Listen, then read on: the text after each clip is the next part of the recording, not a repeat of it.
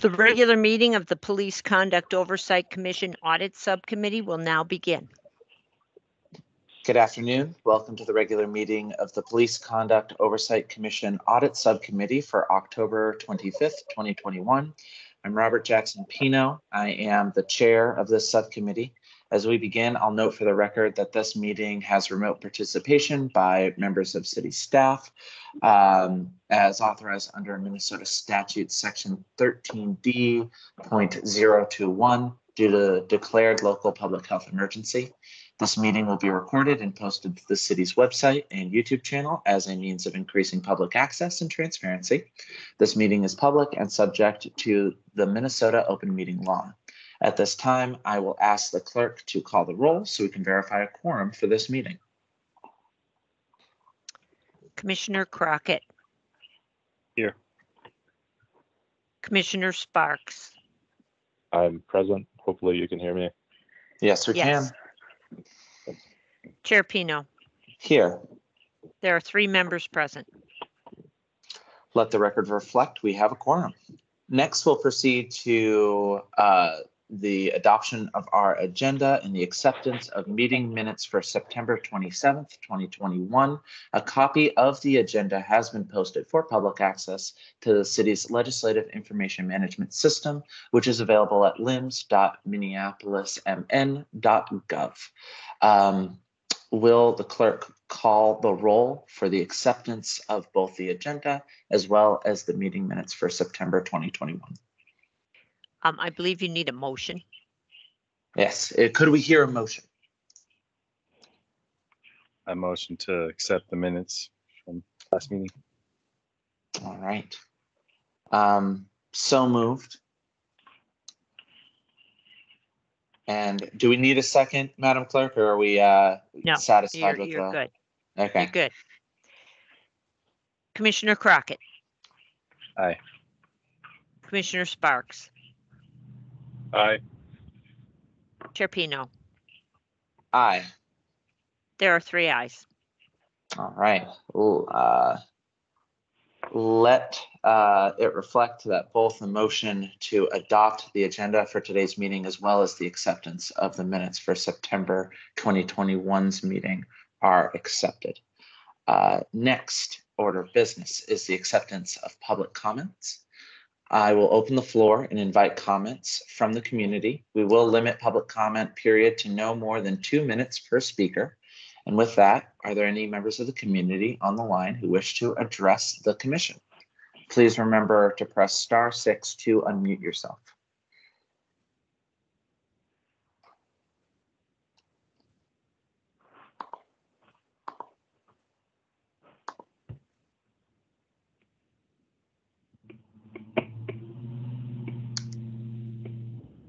We do have three guests on the line joining us by phone. Just want to make sure they have the opportunity to speak if they are interested in leaving public comment. Final chance.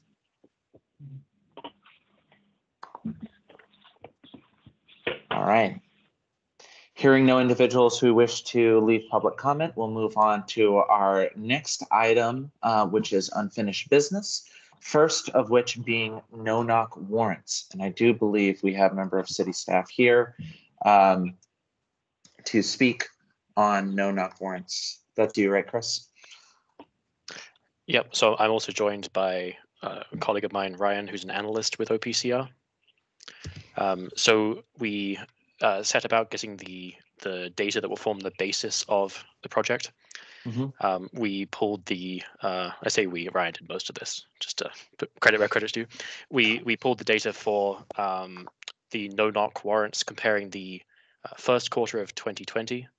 Uh, sorry, knock and no knock. So we've got Mhm. warrants a warrant list for the first quarter of 2020 and then comparing it with the first quarter of 2021 again comparing knock and no knock Mhm. um, i can share the list um, some of the information is redacted because it contains uh, public uh, private information Sure.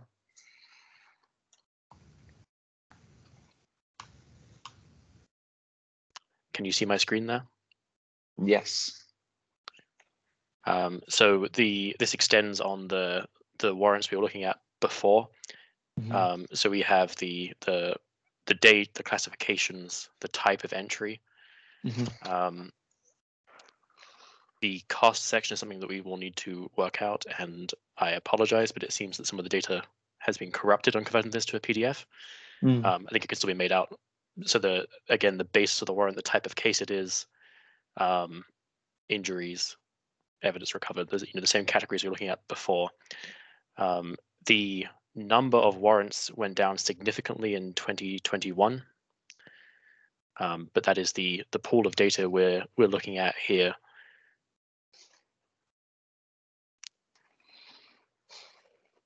Um, stop sharing that. Okay.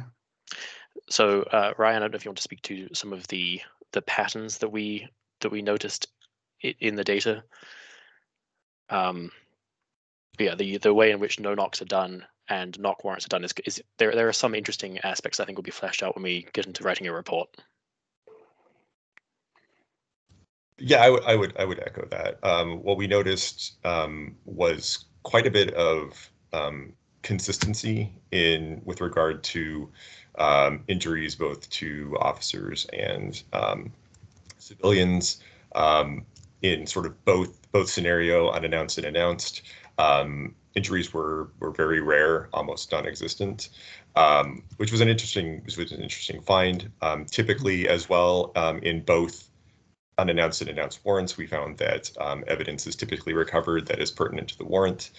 Um, one thing that uh, I think we we want to do some more digging into is um, taking a look at certain ones where um, we weren't able to, within the time frame that we had, uh, locate the search warrant um, in the data that we were looking in. Um, so we kind of want to get a, a balance uh, to that picture um, Okay. as we continue looking in. But I think I think Chris covered it pretty well. Um, There was also a. Uh, we, we will flesh out the data on this, but there are also seem to be a number of warrants where the warrant is issued as a no-knock warrant, and then the the target of the warrant is arrested in a felony traffic stop elsewhere, Hmm. uh, and then the warrant Okay. is then not executed as a no-knock. So I think that's that's an important or interesting part of the data is that you know we look, we saw the original pool was there were quite a few no-knock warrants. Um, drilling down into the information that we that we have, um, quite a few of them are actually executed in a in a just with keyed entry once the target has been arrested and you know they, they don't have to do the no knock That is interesting. Um, um, and i think something that we that we will identify or have identified so far and there'll be more things we can discuss policy wise but uh, the data is in different sources. Um, i think that that's an issue we've talked about throughout is that the, the you have to go to multiple areas to find the data we're looking for. Um, one of the recommendations of no knock minnesota was to centralize the data have a report done for it. Um, currently the the only like central repository is the court where the warrants are filed with the court we've talked about that there are issues in that data being publicly accessible in a in an easy digestible fashion so i think that's something that we would definitely discuss down the line when it comes to any recommendations that come out of the study um, is having to go to many different sources to get this information Okay. Um, thank you both for your work on this um, so far. It, it's it's interesting to see uh, at least your understanding of the the primarily differences or lack thereof, rather, of uh, these two groups. Um, I am curious since um, you, you know you touched on this I, the idea of uh, you know uh, no discernible difference in bodily bodily harm of uh, civilians involved in either of these. Um, and that was one of the key components of, uh, you know, the, the reasons for this research and study. Uh, I'm curious, uh, one, probably most importantly, uh, what are any significant differences in any categories that you've measured so far between knock and no knock warrants, either in terms of outcome um, or any other um, noticeable metric.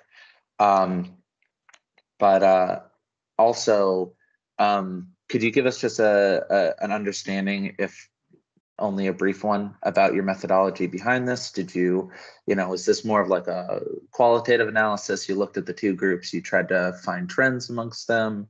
Was this more of a, a quantitative, you know, creating a, a you know, um, I, I understand it as uh, ordinarily squares like a linear regression analysis, but um, if there's some other type of uh, way to compare these two groups that you used at a quantitative level, it'd be interesting to hear that methodology as well.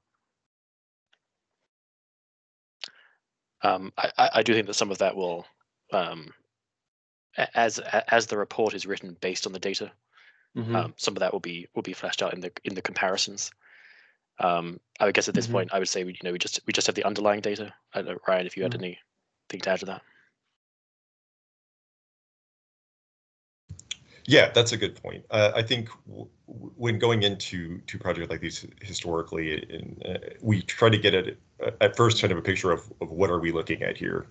Yeah. Um, you know, what is the situationality of it? You know, let's let's not deep dive into something that may not exist, right? So Yeah, yeah. um, so so at this point, we were looking. Um, uh, you know, if you if taking a look at the the data that Chris presented, those were effectively the um, the questions, the rubric, the methodology we were using. Uh, we were Sure. looking at a few different factors to try to get a baseline for um, things like you know injuries, things like is is evidence actually being recovered? Are these um, being night capped, uh, being done outside of you know sort of uh, daytime hours, those sorts of things. Uh, what are they looking for? Uh, that that uh, bit. So it was a bit more quantitative um, at this Sure. point.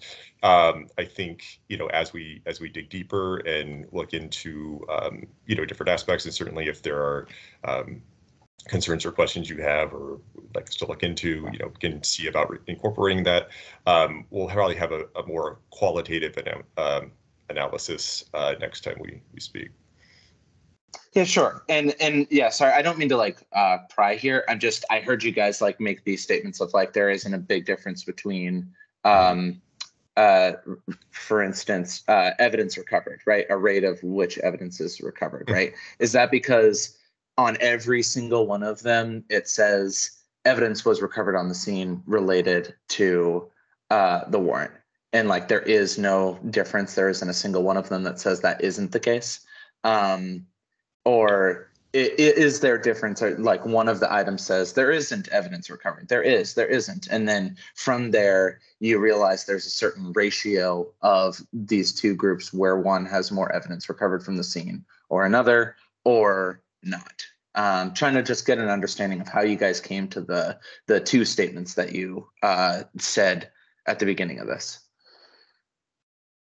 Um, so, so with regard to evidence recovered, uh, what we Mhm. primarily looked at was um, it's, it's called the uh, page five of a search warrant, um, where they Mhm. they list out uh, what was recovered. Um, Mhm. So, you know, whether or not there was evidence recovered, uh, were the things noted in um, the evidence pertinent to what they were searching for. So, if, for example, if um, they were uh, searching for narcotics and firearms, were some of those items recovered?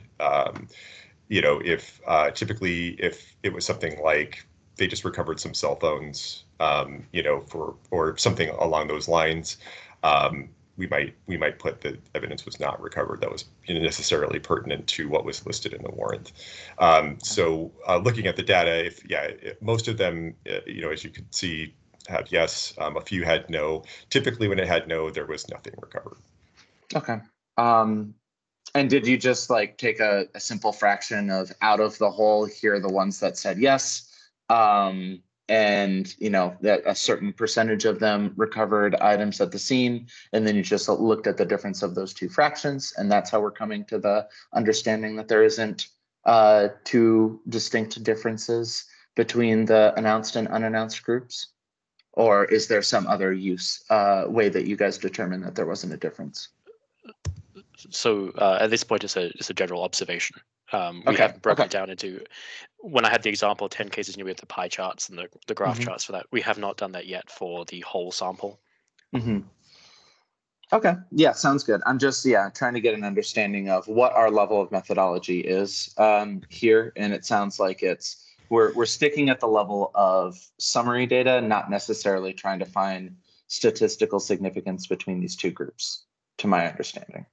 Yeah, and it is it, it is my um, uh, yeah, I, I think it will be the case that now that we have the underlying data, um, Mhm. that as we begin to write this report, then that the analysis uh, and the, you know any charts to compare the different types would be fleshed out uh, Okay. in a lot more detail.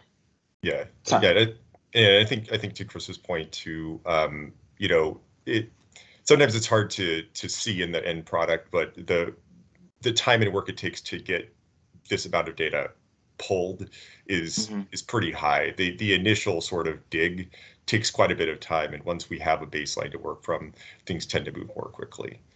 Yeah. Um, I know that some of these things are redacted, uh, and I want to make sure I'm sensitive to that. But I am kind of curious on and be more than willing to like play around with these. I assume that although you showed us in the form of a PDF, uh, would it be possible for you to send me uh, an Excel spreadsheet with this data in a declassified way so that way I could play around with it myself and we could kind of collaborate on this? Uh, yeah, I do. I do not see an issue with with that. Um, Mhm. The I, I converted it into a PDF just because of the the ease of redacting using Adobe software. Sure. Um, but I, I don't see an issue with um, that we would have in taking the same data and Mhm. putting, you know emailing it out to the clerk and the commissioners in a Excel format. Yeah, that'd be great because I, yeah, I'd be more than happy to throw it into like either this or, uh, you know, R or Stata or something and just play around and see um, if I can provide a certain like uh, analysis from my own free time to help you guys with uh, coming to conclusions that would be valuable as well. Yeah, that would be that would be great. And I think that um, you know, es- especially as we as we work on the report, there'll be a lot of opportunities to connect on Mhm. any trends, observations, and then you know, es- especially um, when we get into any policy recommendations that come from that. Mhm. There'll be a lot a lot of areas to discuss based on that data. Great. Um, I kind of dominated question uh, time right now, um, but uh, I'd be more than happy to um, either recognize Jordan Crockett or Jordan Sparks. Um, if you have more questions about uh, the status of where we're at right now, it's exciting to see that we have two groups of uh, samples here of the knocks and no knocks. So, uh, you know, if you have questions, uh, commissioners, by all means, um, feel free to dig in.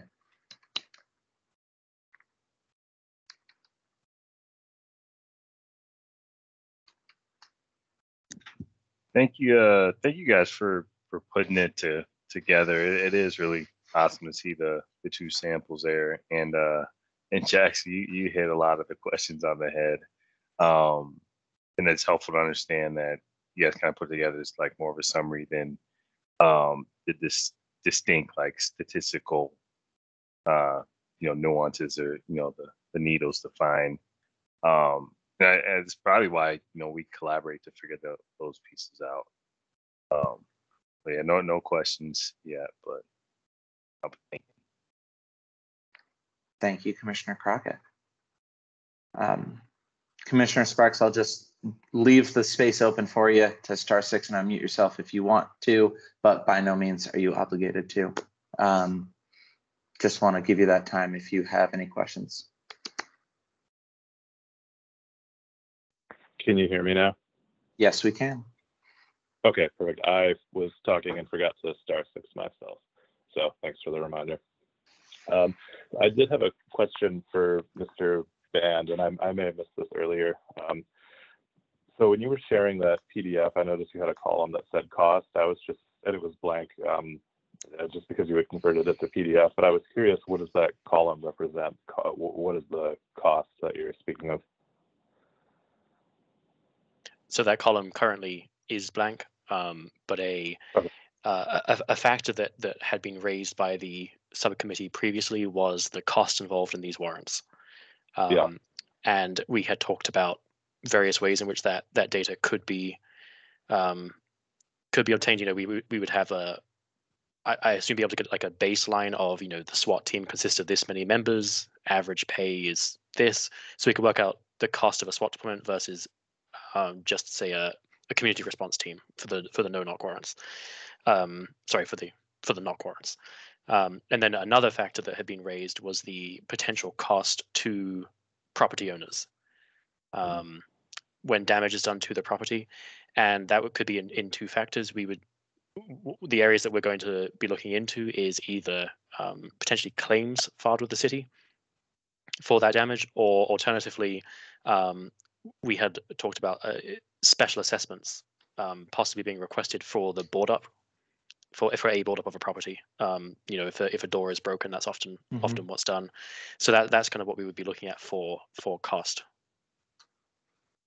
Okay, perfect. Yeah, that sounds like what we what we talked about, and that sounds like it's being covered. So I'm I'm good there. And, and thank you for presenting and and showing us that data and kind of talking through it. It's pretty exciting. I share Mr. Uh, Pino's excitement. Thank you, Commissioner Sparks. Um, all right. Uh, any final words, uh, gentlemen, on no knock warrants before we move on to our next line item?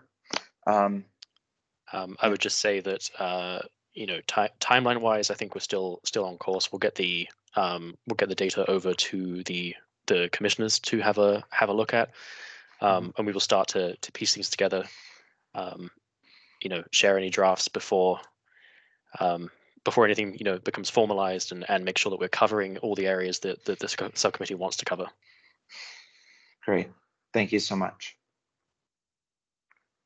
Um, next item of unfinished business is uh, continued discussion on uh, coaching.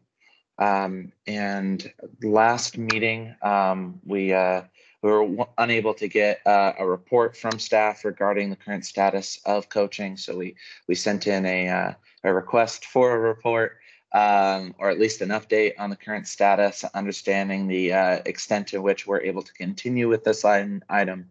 Um, and I, I do believe, uh, Chris, you you have an update for us. Is that correct? Yes, that's that's correct. Um, so the the the basic position is that um, the lawsuit is still ongoing, so Mhm. no new information about coaching can be given at this time. Um, that said, we have been looking into the um, the portals that exist for coaching.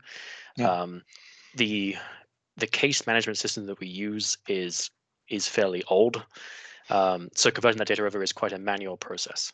Um, and we are looking at hopefully getting into a into a new case management system that would make all this a lot a lot easier. But currently, um, everything is is manual. Therefore, you know, to produce some of the new information, it is creating a new a new piece of work on on coaching. Um, but uh, myself, uh, Ryan, and Andrew have been have been working on um, making some of the portals correctly reflect the data, updating them.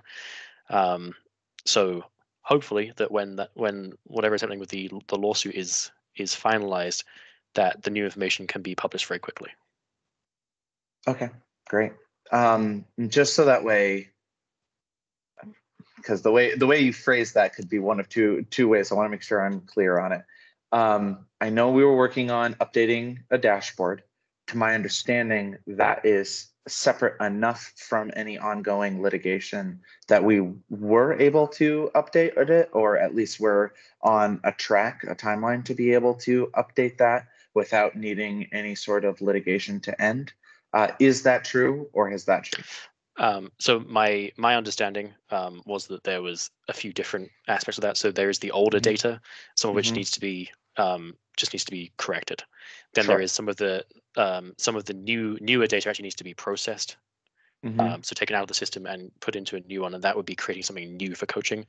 I Mhm. believe the timeline for that is like 2018, 2019 onwards. Yeah. Um, okay. So yeah, my, my understanding was the, the the new data being put into a portal is something that we couldn't do. Because of the litigation. Yes, that is my understanding. Okay, that is that is new information for me. Uh, I'm kind of disappointing, but uh, yeah. Um, okay. Um, ooh, on the point of correcting um, information from up to 2017, Um, I was taking a look at the OPCR um, dashboard uh, prior to this meeting. For those of you who are watching along with us, this is the uh, dashboard entitled Office of Police Conduct Review Data Dashboard, um, which is within minneapolismn.gov. I am going to put a link in the chat for anybody who is following along with us to view. In case you haven't already seen it, we have shared it multiple times this year. Um, and I think one of the items at the crux of what we're talking about with this coaching um, conversation is centered around the idea of um, discipline, uh, the discipline matrix, the the the you know, uh, one having an understanding of where and what the most current version of that discipline matrix is was a topic of discussion uh, that the PCOC has had multiple times. Um, I have I, maybe I have had this. I just don't remember it. I, I would love to have the most recent and current uh, um, discipline matrix, um, so that way we know what the quote unquote the ideal uh, category definitions are, right?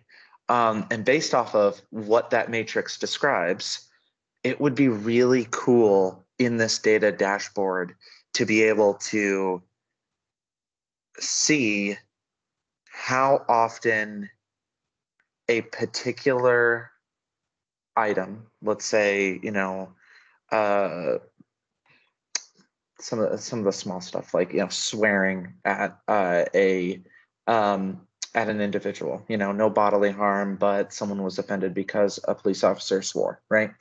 Um, where that is on the discipline matrix, and uh, how often that sort of infraction or uh, accused infraction complaint uh, is categorized at that point in the discipline matrix and see where it falls above or below. Because I think we have this initial hypothesis here in this group that uh, nothing is ever perfect, and what is described in the policy may differ from what the practice is going on in um, in MPD's uh, disciplinary process.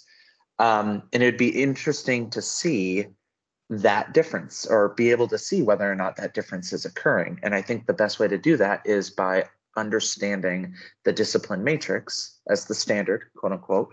Um, and then, if it is possible for each of these categories to see whether or not the the complaints are if the complaints and the responses to those complaints uh, correlate well with their categories on the discipline matrix.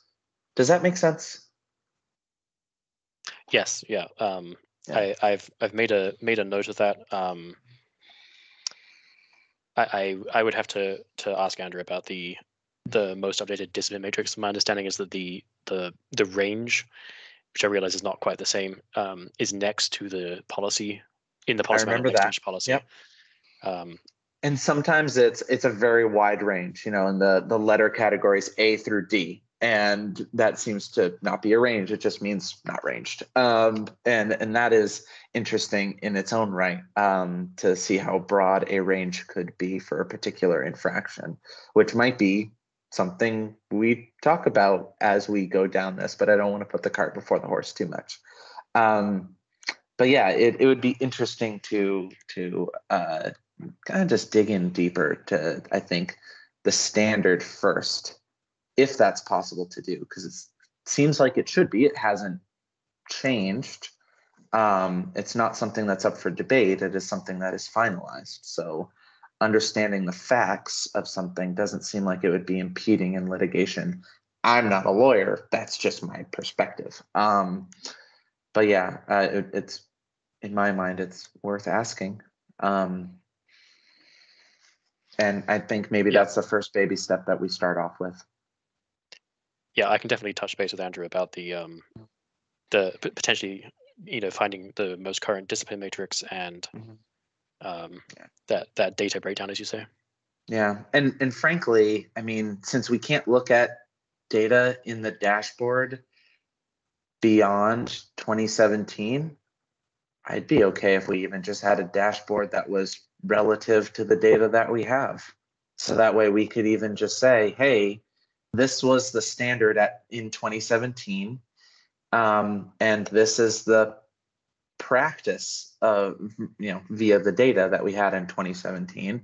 And here's how closely they relate to each other, or here's how closely they don't relate to each other.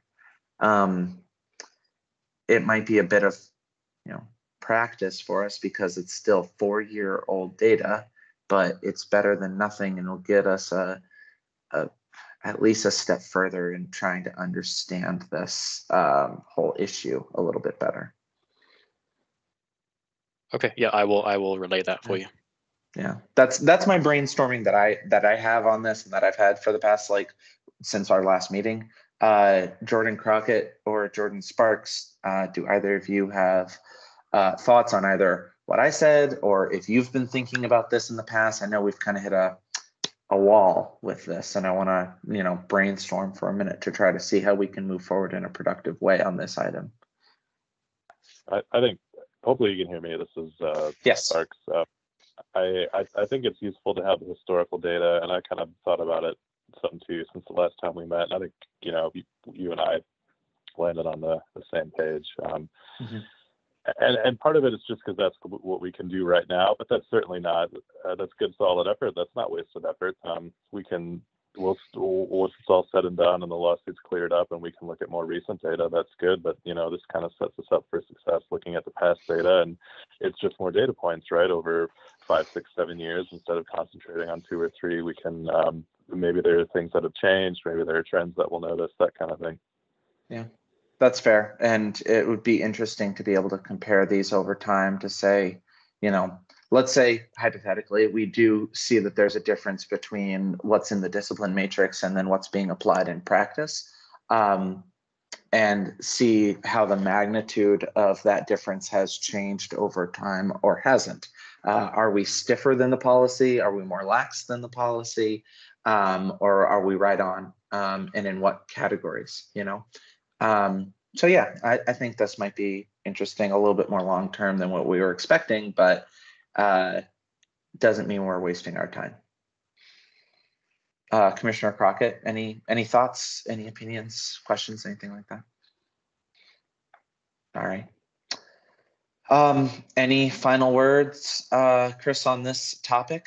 Um, because I think that that will we're going to take it baby steps on this one because of the litigation. But um, do you have any anything to add or things that we should know of um, before we conclude this item? Uh, nothing at this time, but I will, Okay. I will uh, get in contact with um, the higher ups about those questions that you raised. Okay, I appreciate that. Thank you. Um, I will say, um, now that we've concluded, uh, this item of unfinished business, uh, just a note for those watching along and for this committee. Uh, we were asked by our newly, uh, elected, uh, chair of the PCOC, Abigail Cerra, to have a follow-up, uh, regarding, um, the, the, civil rights and, hate crime reporting of uh, people in the transgender community. Uh, this was an item that uh, we first was brought to our attention uh, almost two years ago uh, now, and uh, we've been slowly working through that process as well. Um, but we haven't had an update in um, a little while. I will say to this subcommittee, so that way you are aware, I have reached out to the staff uh, member who is responsible uh, for that research and study. Um, and I have communicated with our clerk here to make sure that that report is going to be coming out, um, or at least an update on that report is going to be coming out as soon as possible. Uh, unfortunately, the staff member involved uh, uh, is not available uh, for this week, but uh, uh, ideally by the next subcommittee meeting, we'll get an update there um, just so that way everybody's aware. Uh, hopefully, we can anticipate that update uh, next meeting. And uh, with uh, all items on our agenda concluded for this meeting, And Seeing no further business before us, without objection, I will declare this meeting adjourned.